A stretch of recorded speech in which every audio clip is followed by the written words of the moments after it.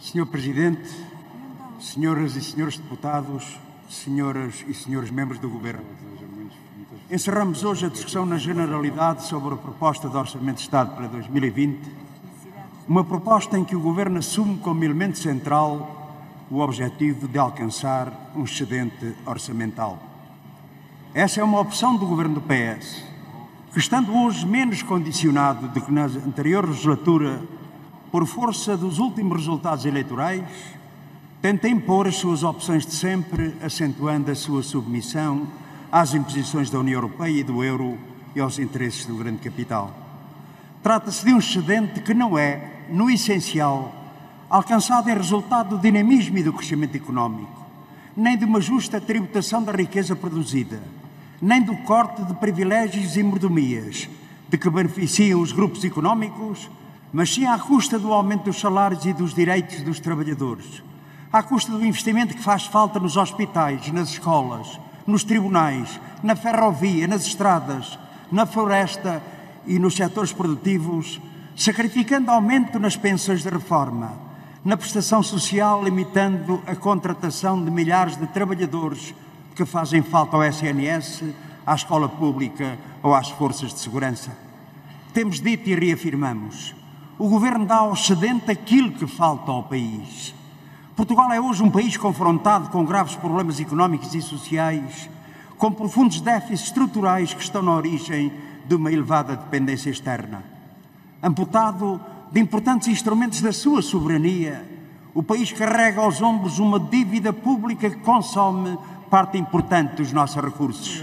A maioria das empresas e setores estratégicos estão hoje sob o domínio do grande capital acumulam-se profundas injustiças sociais, com os lucros e privilégios de uns poucos a contrastar com as dificuldades, as privações e a situação de pobreza de muitos.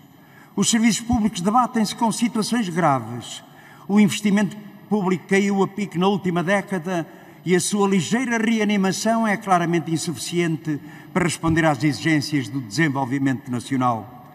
E os meios, que são sempre escassos, quando falamos dos direitos dos trabalhadores e do povo, abundam quando se trata de tapar os buracos da corrupção na banca, pagar as parcerias público-privadas ou disponibilizar generosos benefícios fiscais para os grupos monopolistas. É certo que durante a última legislatura se interrompeu a marcha forçada da exploração e empobrecimento que havia sido imposta pelos governos do, dos PECs e do Pacto de Agressão das Troicas os quatro orçamentos que foram, entretanto, aprovados, apesar das suas limitações e insuficiências, deram uma importante contribuição para o caminho da defesa, reposição e conquista de direitos. Dos aumentos de pensões à gratuitidade dos manuais escolares, da redução do IRS à eliminação do pagamento especial por conta, da redução dos custos dos transportes à tributação dos grandes lucros e património, ou mesmo com o descongelamento das progressões na administração pública, e a reposição de importantes direitos eliminados pelo governo PSD-CDS, designadamente as 35 horas de trabalho semanal. Não é esse o ritmo e a abrangência que encontramos nesta proposta para 2020. Este não é um orçamento de continuidade, nem o melhor dos orçamentos. O melhor dos orçamentos responderia inequivocamente às necessidades do país, iria ao encontro das justas reivindicações e expectativas do povo português, resolveria os problemas em vez de os adiar, romperia com os caminhos da injustiça, da dependência e da exploração. O melhor orçamento estaria do lado dos trabalhadores, dos reformados, dos pequenos e médios empresários, dos agricultores, da juventude, das crianças do nosso país e do direito que têm de ser felizes.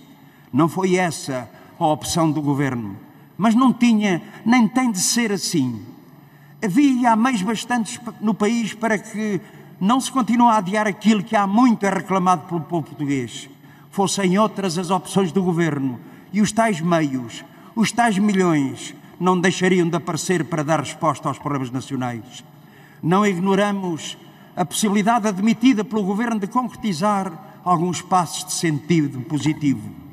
Com a intervenção do PCP, abriram-se as possibilidades de avançar com medidas de aumento das pensões de dar passos na gratuitidade das creches, de concretização do fim das taxas moderadoras, da redução dos custos da energia, do aumento das prestações sociais como o abono de família ou o subsídio de desemprego, o reforço do Serviço Nacional de Saúde ou da criação do Laboratório Nacional de Medicamentos, entre outras.